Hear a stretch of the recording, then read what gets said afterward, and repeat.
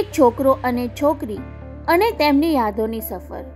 ShemarooMe ગુજરાતીના online platform પર રજૂ થયેલ આસ્થા પ્રોડક્શનની અલીશા પ્રજાપતિ અને રવિ ગોહિલ અભિનીત વેબ સિરીઝ લગભગ બાર મિનિટના પાંચ એપિસોડ ધરાવતી યાદોની સફર કેવી છે અને તે જોવા જેવી છે કે નહીં તે જાણીએ. સિરીઝની સ્ટોરીની વાત કરીએ તો અલગ અલગ સ્વભાવ ધરાવતા ટેસી અને ટિસ્કુ એટલે કે કાવ્યા અને કુશલ. સ્કૂલના બે મિત્રો છૂટા પડ્યા બાદ દસ વર્ષે અચાનક મળી જાય છે. સ્કૂલ ટાઈમમાં બંને એકબીજાને પસંદ કરતા હોવાથી તેમની સફર આગળ વધવાની શરૂ થાય છે. પરંતુ બંનેના સ્વભાવ અલગ અલગ હોવાથી શું તેમની લવ સ્ટોરી સફળ થશે કે પછી ફરી એકવાર વિખૂટા પડી જશે? આ સવાલના જવાબ જાણવા તમારે આ સિરીઝ જોવી પડશે. એક્ટિંગની વાત કરીએ તો અલીશા પ્રજાપતિને સ્ક્રીન પર હંમેશા જોવી ગમે તેવી એક્ટ્રેસ છે. રવિ ગોહેલ સાથે આ તેની બીજી સિરીઝ છે. આના પહેલા બંને આસ્થા પ્રોડક્શનની દસ્તો નામની વેબ સિરીઝમાં જોવા મળેલા.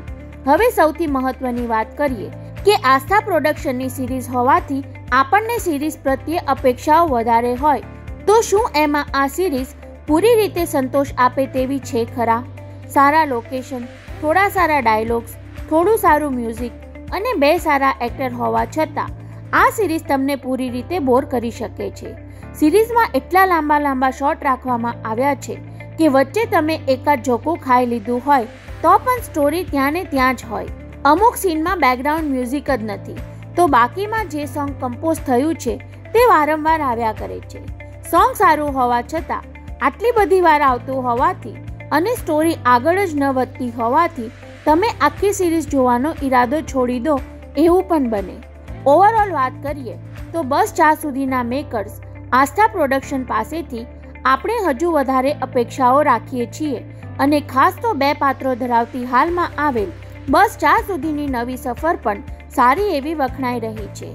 છતાં હવે આ પ્રોડક્શન હાઉસે થોડુંક કંઈક નવું કરવાની જરૂર લાગે છે. કેમ કે આ પ્રકારના કન્ટેન્ટ ધરાવતી ઘણી વેબ સિરીઝ આવી ગઈ. તો હવે કંઈક નવું લઈને આવે તેવી આશા રાખી શકાય. તમે આ સિરીઝ જોઈ તો તમને કેવી લાગી તે કમેન્ટ કરી જણાવશો. સાથે વિડીયોને લાઇક કરી ચેનલને સબસ્ક્રાઇબ કરવા સાથે બેલ આઇકન પ્રેસ કરવાનું ભૂલશો નહીં. આપણે મળીશું નવી માહિતી સાથે.